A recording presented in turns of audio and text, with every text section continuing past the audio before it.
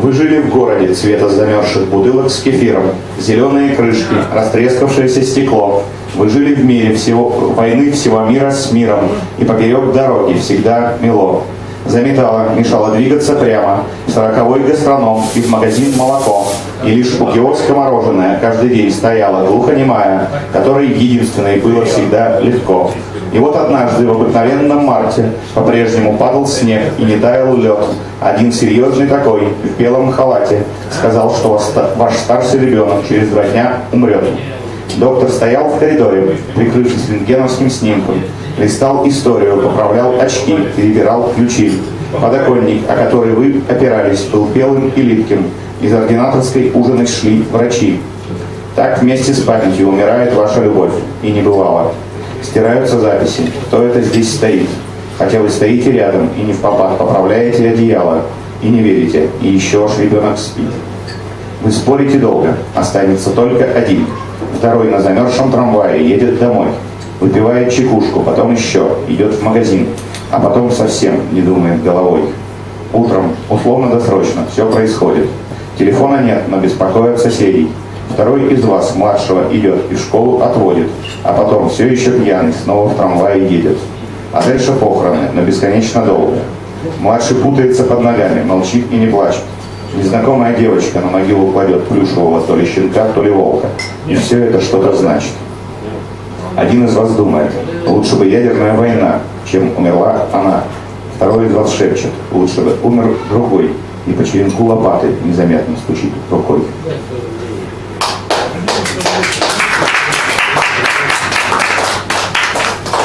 Ну и начало цикла «Любовь Свердловская. Перезагрузка», который состоит сейчас из пяти текстов и посвящается, и посвящается Илье. Так с тобой говорит и молчит Свердловск. Он снимает в зале досмотра столичный лоск, садится в самолет с серебристым крылом, приземляется через два часа на собственный аэродром. В самолете Свердловск не ел, не пил и молчал, и только бортпроводникам в ответ головой качал. Он выходит, закуривает, садится в машину, смотрит в окно. В магнитофоне играет группа ХЗ и группа кино. Свердловск жмет руку шоферу и дальше молчит. И по утреннему Свердловску Альфа-Ромео Свердловск мчит. И Свердловск молча пишет длинное СМС, заканчивающееся словами «Просыпайся, я здесь». И ему даже немедленно отвечают на этот текст. Миллион ошибок, два миллиона смайлов, поколение Next. Но в результате по будильнику просыпается сам Свердловск. Включившийся телевизор диктует что-то по самым мозг. Свердловск звонит на работу, ссылается на головную боль. Да, боль головную. Наливает кофе и наяву пишет коротко. Я курю и ревную. Из тайных комнат, из купе для отдыха проводников. Герои выходят, ни о чем не думают, ничего не помнят, и только лишь немного растерянно смотрят на дураков. Начинаются титры, и нихуя непонятно. То ли кому-то достанется, то ли здесь могут водиться тигры, то ли это начало, то ли конец, то ли пленка разматывается обратно. Только очень страшно. Герои безостановочно курят. Это грустно или весело, это не важно. Продюсерской версии этих сцен все равно не будет. На самом деле, под тиграми в виду имеются пумы. Одна из них проходит у верхней границы кадра на самом пределе. Первый герой надевает очки, второй снимает, и все начинают думать. Трудности перевода. За кадром одновременно двое. Два внутренних голоса одновременно, что за странная мода. Один говорит про счастье, а второго и вовсе переводить не стоит. Счастье это, когда тебя окутывает покой. Окутывает покой и невероятный ужас, и кончается лето. И ты бьешь по портрету на постере, а стена прогибается под ломающейся рукой. Подойти ближе, посмотреть на эту руку, на эти руки, на эти глаза, на эти мокрые прятки, что ты молчишь. Да, у меня точно все в порядке, только все кругом суки. И близко-близко подбирается кинокамера, она уже здесь. И в нее говорят, я здесь, и говорят, я здесь. А из-за нее говорят, никакого риска. Начинаются танцы, все ярко и весело, бесплатные звонки, все поют и смс-бонус от МТС. Эпиграф из группы «Седьмое небо», никому неизвестный, которую я слушал в юности. И только в душе ебаться ништяк, и только в душе ебаться ништяк. И вспоминать потом с утра натощак с похмелья «Седьмое небо». Слушай, да, есть еще порох в пороховницах, есть еще грустные песни в караоке. Я какое-то время не пробовал, но, кажется, еще могу разглядывать лица. Вон тогда, например, просто стою на пороге, а он едет на велосипеде. Да что там едет, он даже, можно сказать, изобретает. Весь такой, каких не бывает, из города вашего, своего, где не говорят ничего, а только в Гео играют и в Nintendo играют. Ну то есть как таких не бывает, ведь есть же ты. Ты есть, и ты не только играешь, ты говоришь. А я стою такой, я такой курю, и старухи у подъезда сажают цветы, и сигарета уже вторая дрожит, как мышь. Но это не важно. Я к тому, что я просто пока мест могу, малыш. Я вполне волшебник, мой радужный мальчик, точнее, мой лазерный собутыльник. Слова наступают когда здесь, пиши, что хочешь, ты слышишь. Мне еще налоговая инспекция скоро обещали вернет полтинник. А вдруг, а вдруг до зимы дотянуть не удастся? Хуй с ней зимой, такое счастье бывает далеко не каждое лето. Мой гитархиро, можешь не волноваться. Еще никто не спит, но выключен свет. Еще никто не спит, но выключен свет. Дверях застыл твой косой силуэт. Мне стыдно. Стишок, который я читал вчера про футбол эпиграфом из Ильяна Кудрявцева. Времена, когда мы ездили на метро. Ильян Кудрявцев. И вот дрожит мое сердце и вся земля. Это гол забил Уралмаш на заснеженном поле центрального стадиона. Времена, когда ты учился держать в руке карандаш. Времена, когда я на трамвае вообще ездил до своего района. Трибуны верят, что в этой игре случится спасительная для нас ничья. Ну хотя бы, хотя бы раз. Вратарь отбивает пенальти начинает молиться. Времена, когда вместе со всеми я, а ты с бабушкой в первый класс. На беговые дорожки летят снежки и льдинки. Судья свистит и вспоминает лето. Мать закончен, но в шуме не слышен свисток его. Времена, когда с тебя, наверное, сдували пылинки. Я на экзаменах знал ответы. Времена, когда было счастье, а больше не было ничего.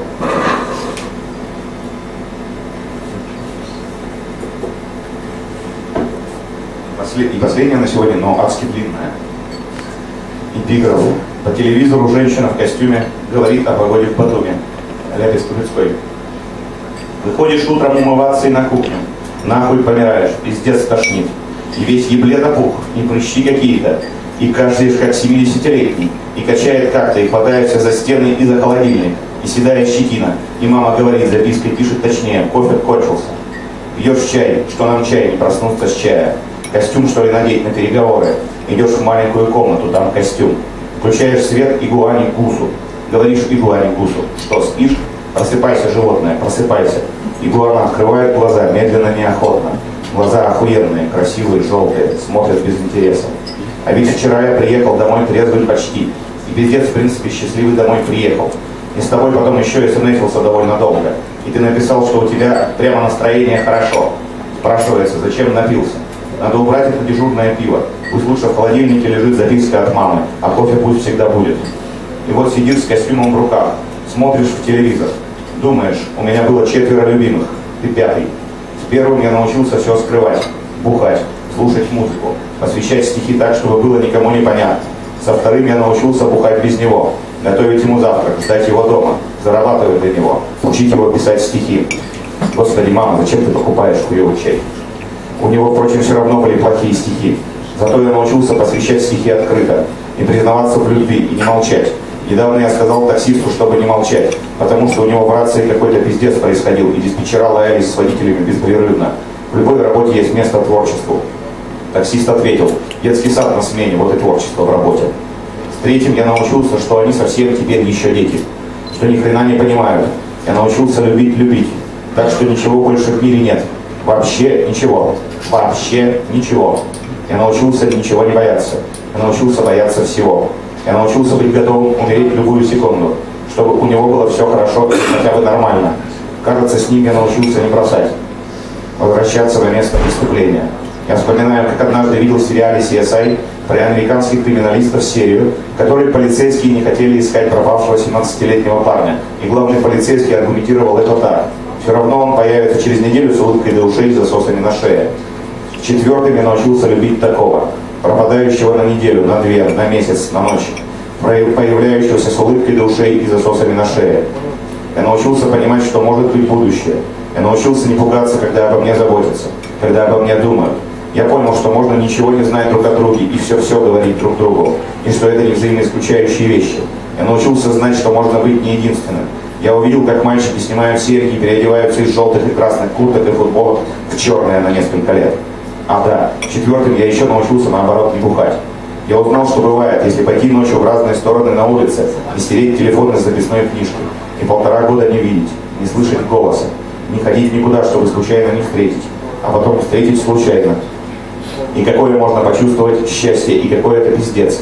И никогда не ходите в разные стороны ночью на улице, стирая на ходу телефон из телефонной книжки. Теперь я все знаю и умею, но не все, многое. Это все для тебя, я недавно понял. Я всю жизнь жил для того, чтобы, когда встречу тебя, все понимать. И все сделать так, как надо. Чтобы без ошибок. Чтобы только любовь и счастье. Ну, то есть ты, конечно, абсолютно какой-то новый. Абсолютно какой-то удивительный. И я много чего с тобой узнаю. И многому научусь. Но это все уже будет только для тебя, только твое. Я хорошо помню, как недавно, утром 27 августа, я понял, что ты даже нихуя не моя любовь. Ты это моя судьба. Я вспомнил, что когда много лет назад меня хотели убить, я думал только о том, чтобы любимый успел убежать.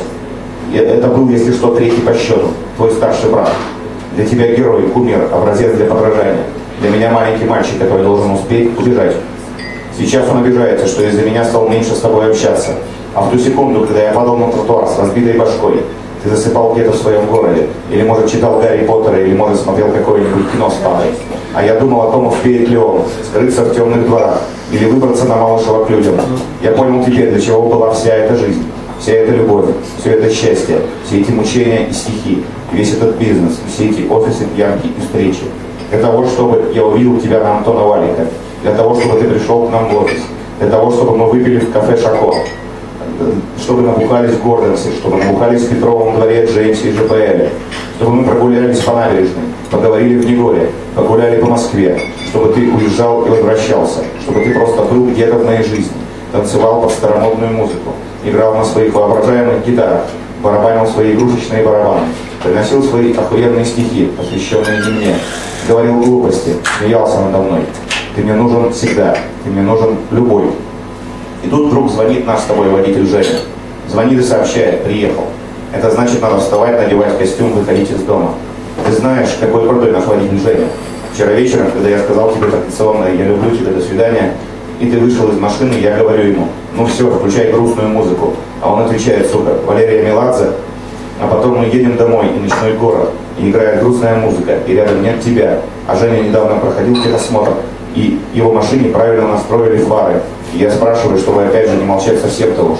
Ну что, Женя, тебе лучше стало видно дорогу?